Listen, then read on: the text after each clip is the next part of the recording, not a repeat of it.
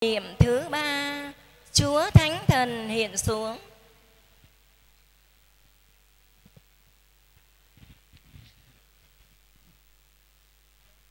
Sau khi Chúa về trời, sách Tông Đồ Công vụ chương 1 câu 12 kể lại rằng các môn đệ trở về Jerusalem.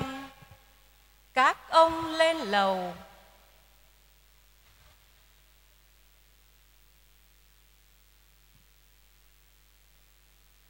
tất cả cùng đồng tâm nhất trí cầu nguyện cùng với mấy bà phụ nữ.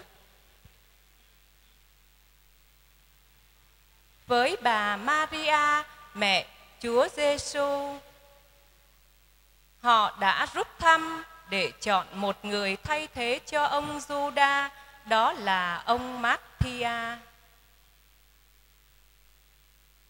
Vào ngày lễ ngũ tuần khi đang tề tựu cầu nguyện, thì bỗng từ trời phát ra một tiếng động như tiếng gió.